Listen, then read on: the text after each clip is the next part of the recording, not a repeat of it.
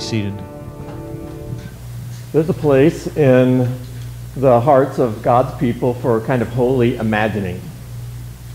Begin to learn what God is like, and you imagine what that means in your circumstance. But there's also a place in your hearts and lives for a, a welcoming in the moment where you say, In this place, in this day, for this time, I'm going to worship. I am going to be His person in this place today. Heavenly Father, God, we come in this moment today before you. Thank you. Thank you that there is an invitation, an encouragement to, to check our hearts, uh, a welcome to come and to receive what we need for today and to be prepared for the days to come. I know people come from lots of different places, and there, some weeks have been very discouraging. Others times filled with questions and very few answers. For some, this past week has been a, a time in which they have been aware of what you have for them and enjoying the, the challenges of the life you've entrusted to us. Father, whether it's been a difficult week or an encouraging week, Lord, we come to you now and we say that in this moment, in this service, in, in this time, we want to embrace what you have for us. We want to receive that work of yours that has come through your Son, Jesus Christ. We want to remember well his death. We want to receive from you the encouragement and the calling that comes because Christ has loved us so well. And today we want to recognize that it's not just about us. It's about the days in which you've given us and the world in which we live, and we want to be good stewards of every one of those opportunities to pray for those in authority over us, to be aware of those serving our country around the world, those places in which our fellow uh, believers are suffering incredible persecution. Lord, the, the work of yours spans the globe. And we honor you and thank you for the privilege of being part of that body in which you have called to serve you in these days. And this morning we want to honor you with our tithes and our offerings. And we want these to represent who we are, a piece of what you've entrusted to us that we return to you, saying that we recognize the privilege of being a steward of yours in every area of life. So, Father, thank you for the opportunity to give. We ask your blessing on each gift and each giver. In your name, amen. Hmm. So, I don't know how often it happens to you that you get a call. Um, that a friend of yours is in the area, maybe somebody you haven't seen for long, and uh, they are on their way through and wanted to stop by, catch up, visit for just a moment, and all of a sudden you look around the living room. You'd been sitting there and contentedly, you know, reading or whatever, um, and all of a sudden the room looks different to you.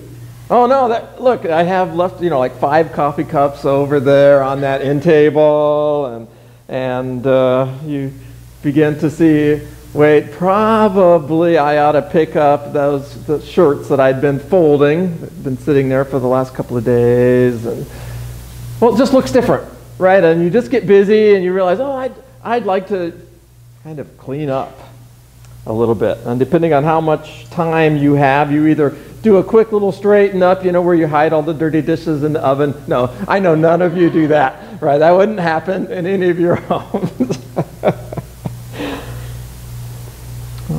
or you actually do some vacuuming and dusting and cleaning and getting ready for someone that's going to come. When the Apostle Paul writes to the believers there in the church in Corinth, he's dealing with a group of people that are struggling. Okay, things have not been going particularly well for them within their church family. There has been some very significant disagreements between the believers there. They have been treating each other poorly in different circumstances. And when he writes them, he gives them a set of instructions that include how things ought to look different than they are going on. One area that ought to look different is how it looked when they come together around what he calls the Lord's Supper. Right? The Lord's Supper, we sometimes call it the celebration of communion.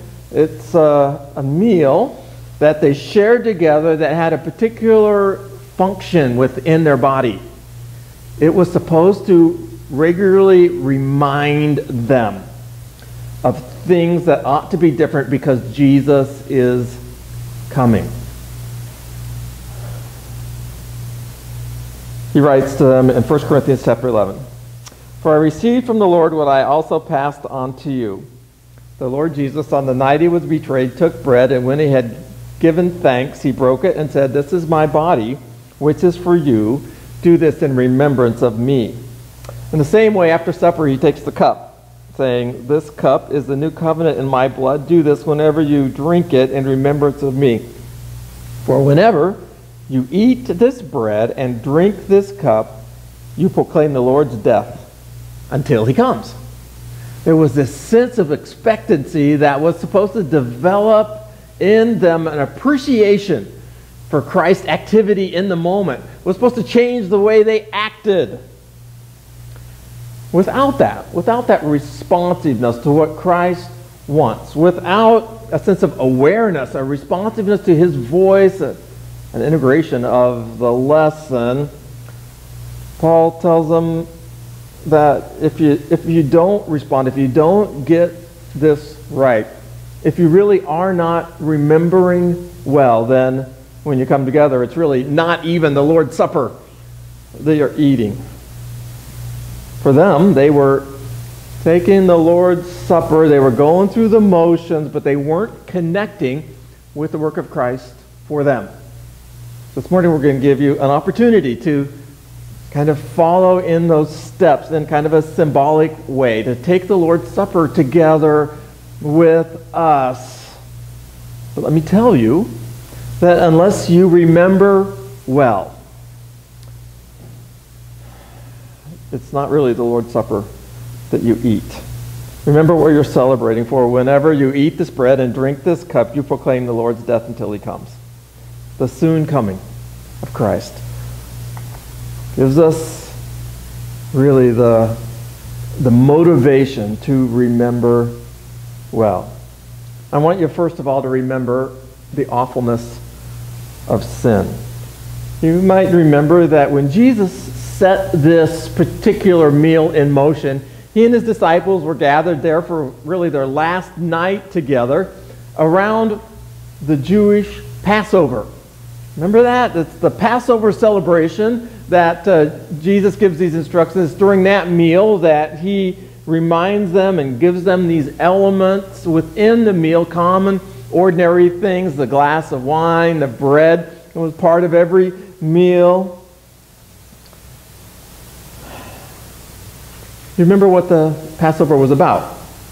The Passover was that last act of God that freed the children of Israel from slavery in Egypt and brought them out of the land.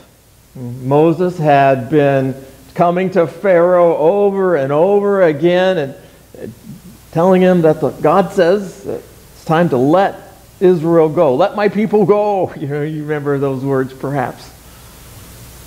And finally, they come to this last moment, Pharaoh's last chance and his last betrayal. And Moses is told that there is coming an awful judgment on Egypt.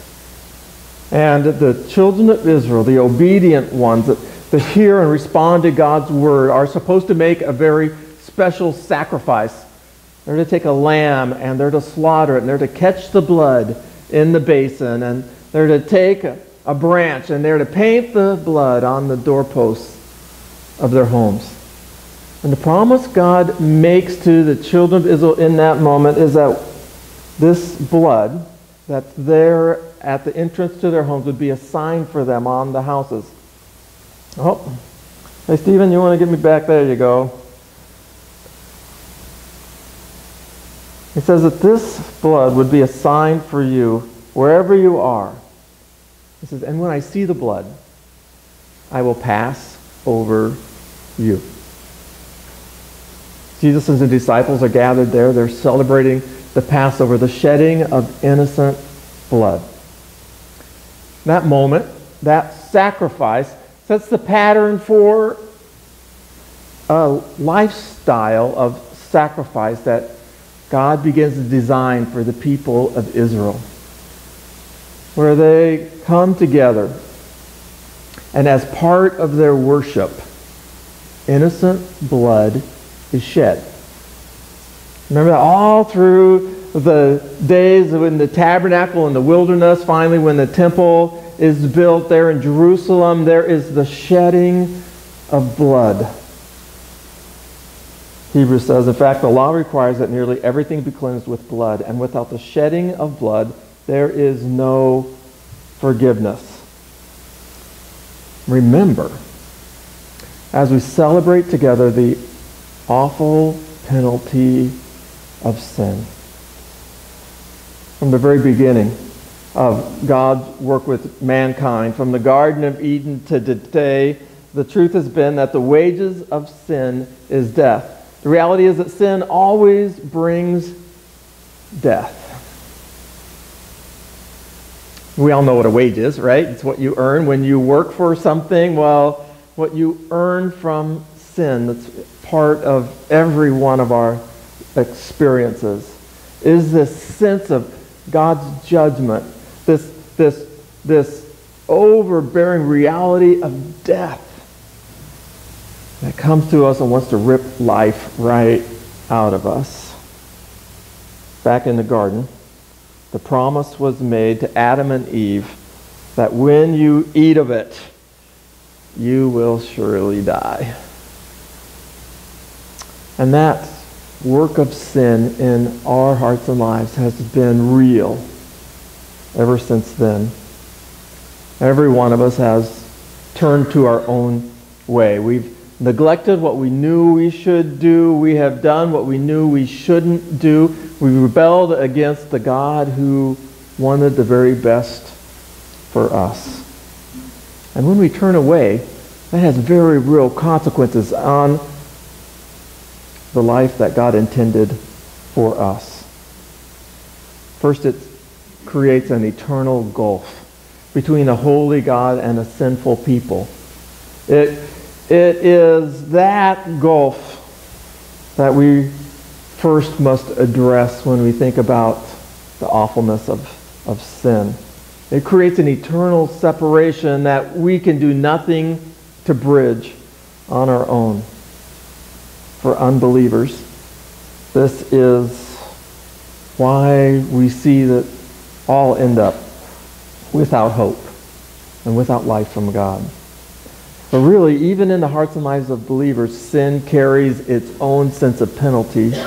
In our hearts and lives, there is this ongoing struggle with sin. It's a reality that we know.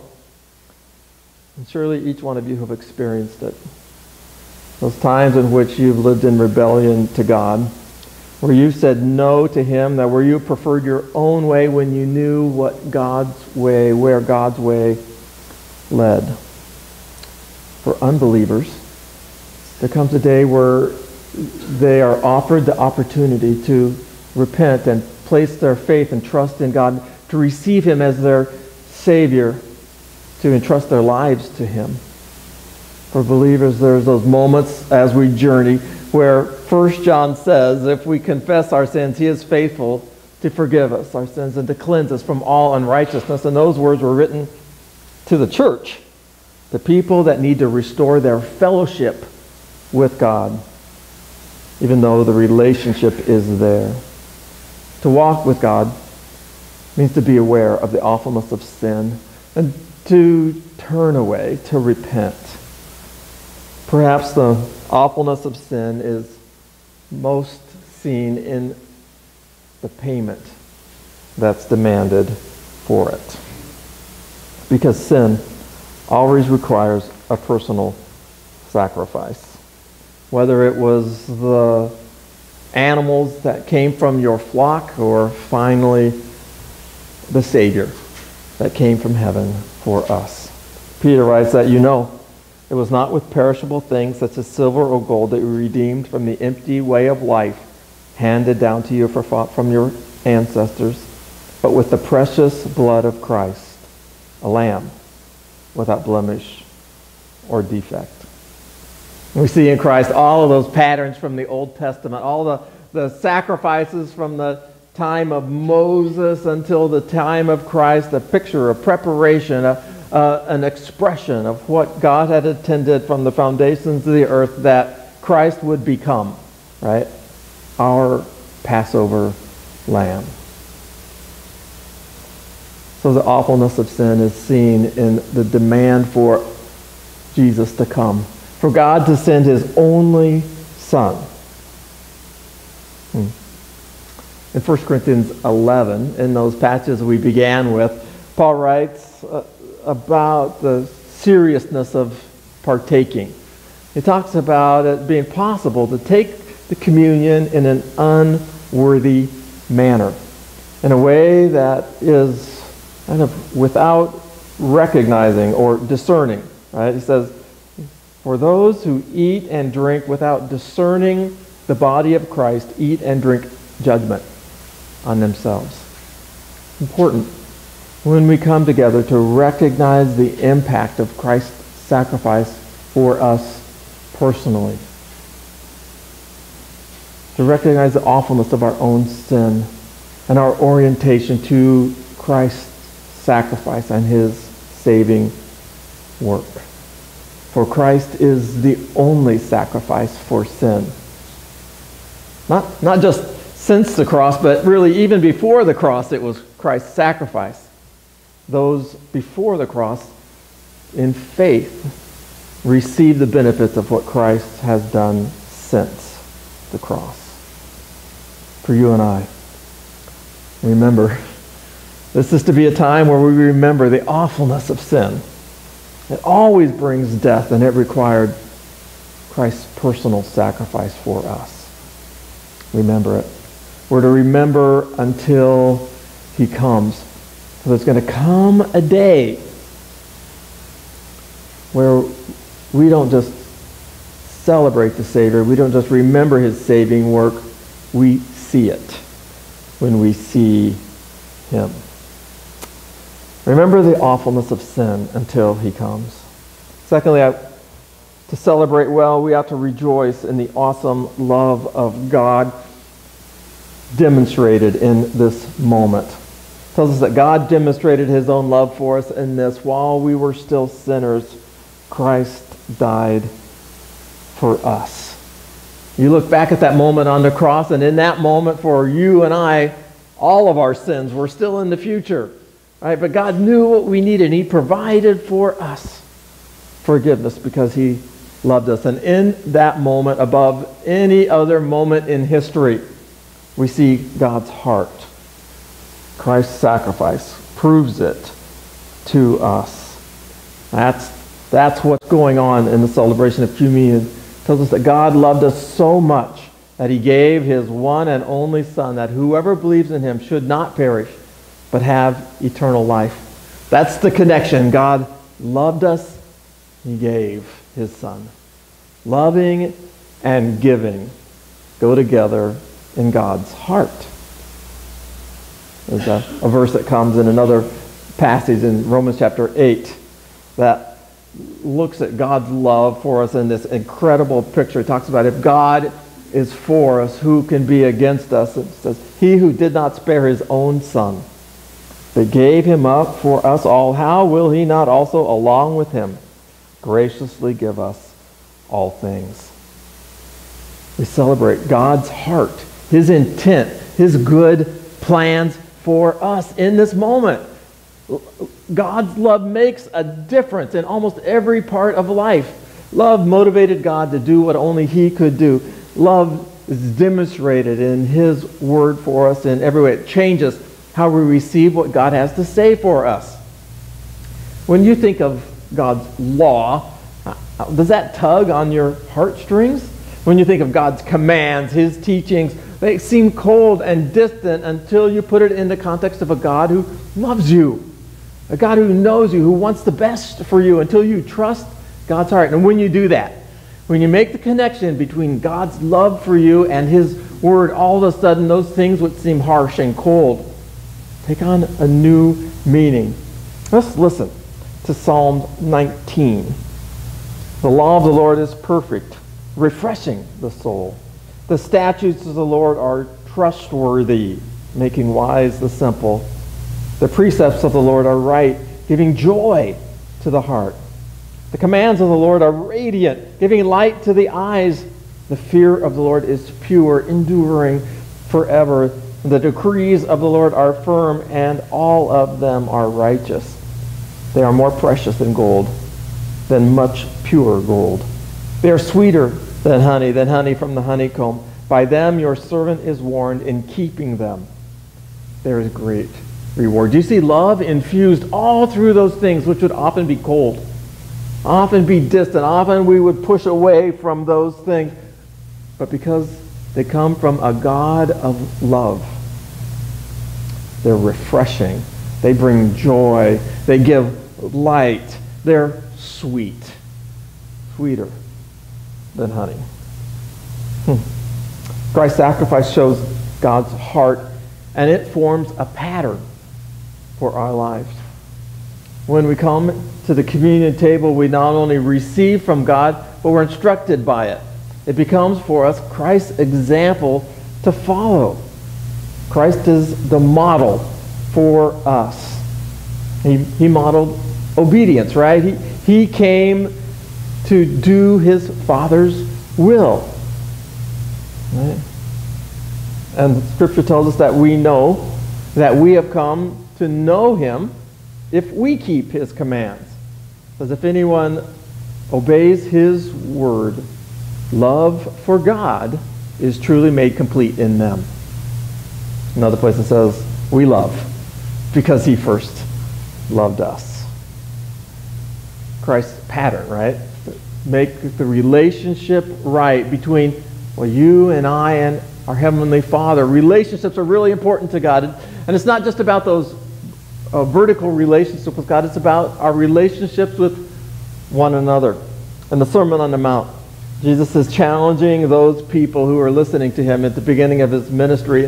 The importance of relationship comes through really clearly when Jesus tells them that if you're offering your gift at the altar and there remember that your brother or sister has something against you, leave your gift there.